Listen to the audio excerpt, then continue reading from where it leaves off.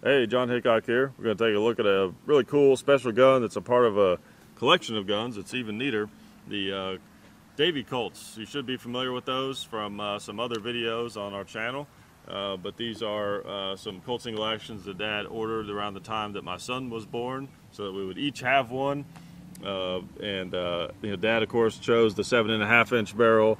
I chose the four and three quarter because it's my favorite and then Davy got what was left, which is the five and a half, and in some ways is the most beautiful um, of the three. But I've always preferred the four and three quarter because I've always liked the kind of clean look of, you know, the ejector housing going right up against against the barrel, kind of like a tactical shotgun with a barrel and the mag tube is the same uh, same length.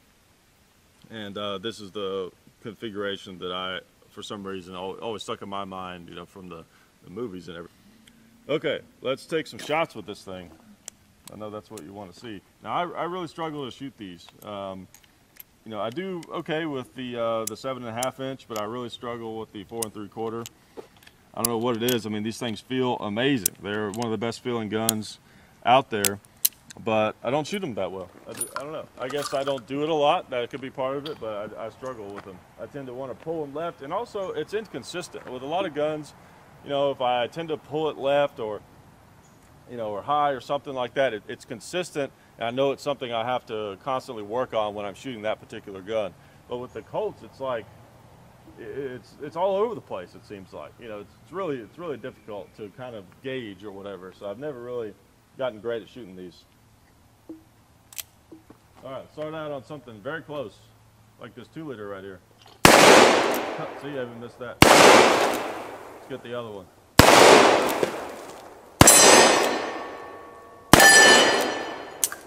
All right. Not too terrible after after the worst the first shot, which was the definitely the worst shot. Uh, also, I want to announce something real quick. Um, that uh, of course, as a lot of you know, we're in this uh, still kind of in this crazy lockdown and everything. As I talked to you, you know, in uh, late May, May 20 something, who, who knows what dates are anymore. Uh, but I want to let you know that I've that I've uh, finally have a, a stand-up comedy show booked, and it's the first one since all this craziness has happened. And I would love to see you guys there and see how rusty I am uh, uh telling jokes. And it's uh, it's in Huntsville, Alabama. It's on May 30th at a place called Shenanigans Comedy Theater, and the show starts at 8 o'clock. Go to my Instagram, John J O H N underscore H I C K O K 45 um, on Instagram, and you'll see posts about it. So I'd love to see you guys down in Huntsville, May 30th at 8 o'clock at Shenanigans. All right, had to, had to plug that because that's that's a big deal. It's nice to be back in the game. You know, live entertainment and things like that are starting to starting to come back. You know, it's been a crazy world for the past couple of months, but we're still here shooting guns. Been doing it the whole time. All right, let's shoot the uh, paper target. Now you guys can really see uh, my limitations with these things.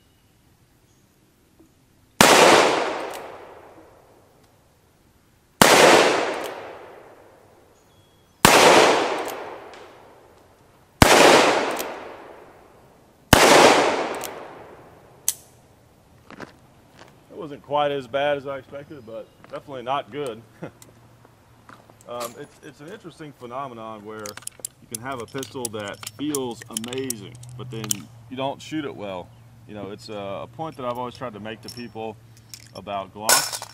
You know, people that are inexperienced sometimes, or sometimes experienced, they'll pick up a Glock and be like, ah, it doesn't feel good. I'd rather get this you know, other gun, or I mean, I shouldn't use Glock as an example, but any gun, you know, but a lot of times it's Glocks that they'll say this about. And uh, I always say it doesn't matter what it feels like. It's not a glove. It's not a, a seat. It's not a La-Z-Boy that you're going to spend hours in. Who cares how it feels? It only matters how do you shoot it and how does it fit your needs uh, for a handgun. I, Glocks feel terrible to me too, but I but I shoot them very well. And guns like this feel amazing. It's a dream, you know, but I don't shoot it that well. So that's really kind of not that important, to be honest. How comfortable the gun feels in your hand. I don't think. But I love the history of these things, and they are very pointable. And I and I think a lot of what the reason that I struggle shooting it is simply I don't shoot them that much, and they're so vastly different from what I would normally shoot. All right, let's shoot. Uh, let's, let's take out this pot right here.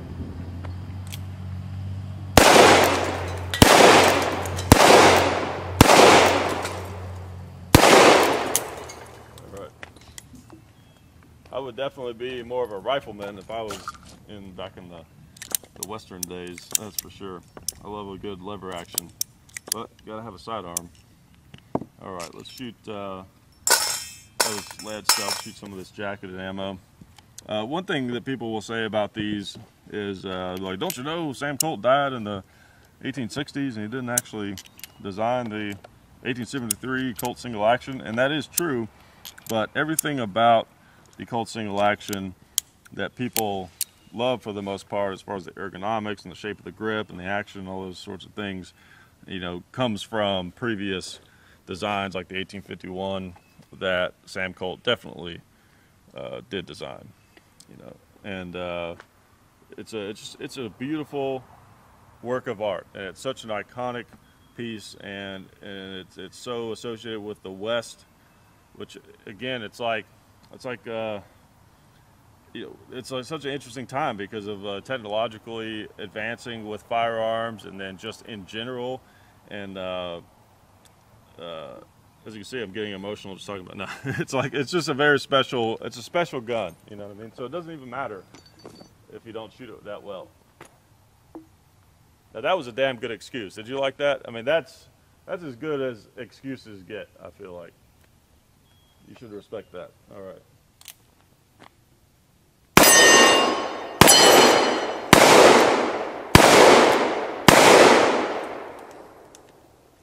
See, like that's how fast I would shoot it if I was good at shooting it. I just wanted you guys to see that. That's an important thing to, to know about. Uh, but I, am sure I would get better at it if I if I practice it more.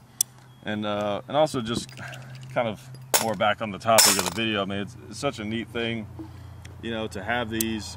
Uh, you know, I, I love I love guns. You know, with as it relates to the importance of the Second Amendment, all those kinds of things, and I also love them as a collectible thing. It's just an item, a, a piece of art and history, and all that stuff. Like I was saying earlier, um, and I feel like too, there, there's different reasons you might get someone like uh, like your son or or a member of your family, like a younger member of your family, could be a cousin or something like that, a firearm.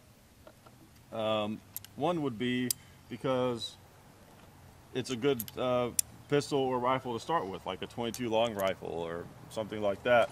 Uh, but another reason, which would be more in the category of something like this, is it, it would be something that would stay relevant longer in their life. Like I have 22 rifles that I started out shooting, and they'll always be special to me, but sometimes if you have something that is a gun you still, like if, if dad had gotten me a Glock 19, let's, if they existed, which I think they almost did very soon after I was born. So if dad had got me a Glock 19 for my first birthday, let's say, and I still carried it, you know, good job, dad. You screwed up big time for not getting me one. Uh, that would have been a special thing in a different way than when I go, you know, get my safe and I look at old lever action pump 22 where I first learned to shot. You know what I mean? So it's kind of an interesting thing. And so for my son, when he gets older, you know, this will be um, different than like having a 22 or something like that, you know if that makes any sense. Uh, it's just, it's very special, that's what I'm trying to say. Which is another reason why it doesn't matter if I can't shoot it well. Yeah, I'm always going to tie it back to that. All right. Let's, uh, let's go two hands and see if that makes it worse.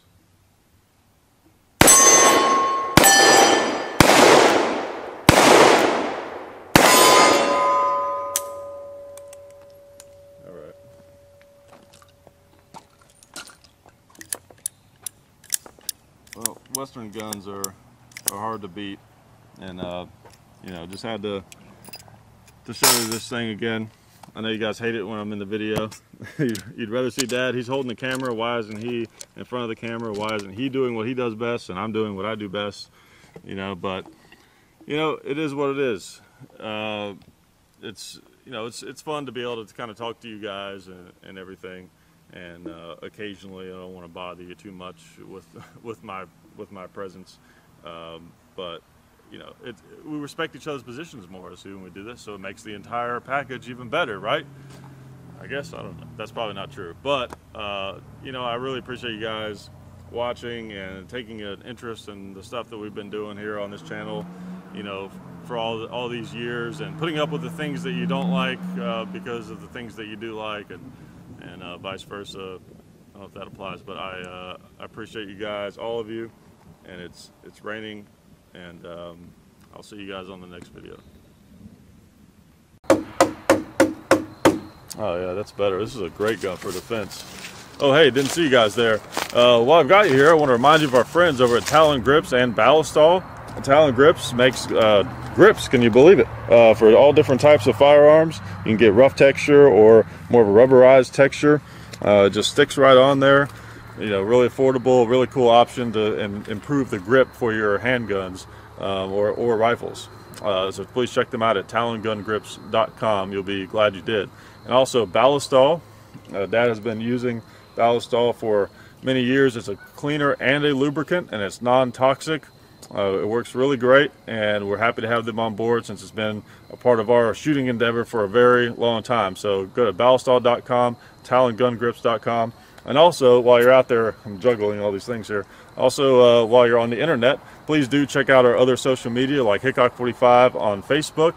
There's also Hickok45 on Twitter the real Hickok 45 on Instagram. There's a John underscore Hickok 45 on Instagram where I do some things.